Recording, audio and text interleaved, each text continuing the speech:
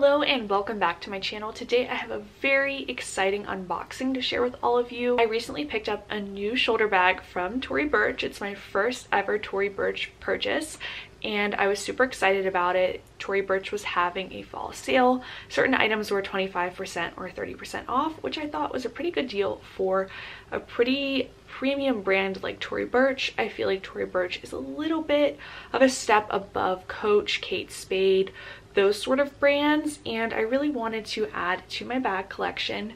So without further ado, let's unbox it. I thought this was so sweet too, how they had um, a little card and this like little gold sticker. Super cute. I actually haven't seen the bag yet, so um, this is going to be a surprise for me as well. And I got the Kira Chevron mini bag and it came in this little pouch like this, all nice and wrapped up. I'm actually gonna go get scissors, BRB.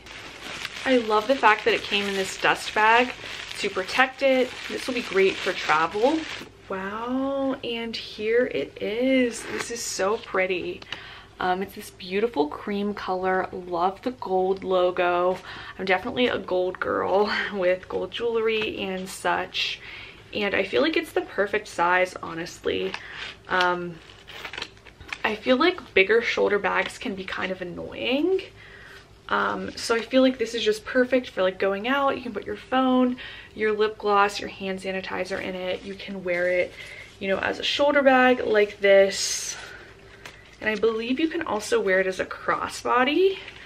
Um, but yeah, I'm really impressed. Definitely smells like new leather and it's like really soft, really pretty and I'm super excited to wear it. Like I said, I've never had Tory Burch before, so I was kind of curious about the quality. The bags like definitely are more expensive than Coach and Kate Spade. So hopefully the quality is like a little bit better as well. I'm just trying to um, cut off the paper around the strap. But I knew I wanted like um, a cream shoulder bag because I bought a cheaper one at Target at the beginning of the summer and I wear it all the time. So I feel like this will, will get a lot of use out of it.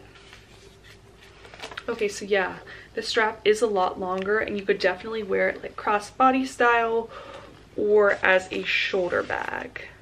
And looking in the inside right here, so yeah, you can definitely fit like your phone, your keys, your cards on the side, um, it's definitely a smaller bag, but I feel like it is perfect for going out to dinner, going out for drinks, um, like a travel day where, you know, you're not carrying too much, like maybe you're not bringing sunscreen or, um, you know, you don't want to store your souvenirs or anything, but yeah, I'm really impressed with it. really like it. I feel like this will be super versatile and match lots of different things. If you don't have a cream bag, I highly suggest getting one. I feel like it's more versatile than black because as you can see I'm wearing like a leopard outfit with black undertones yet this would still match an outfit like this as well as a cream outfit, a light pink outfit, a blue outfit, anything like that so.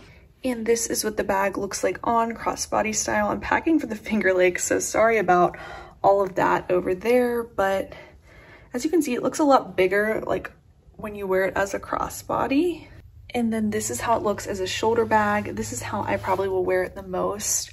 Love the shoulder bag. Um, in order to get this look, you just twist the straps around and um, put them inside.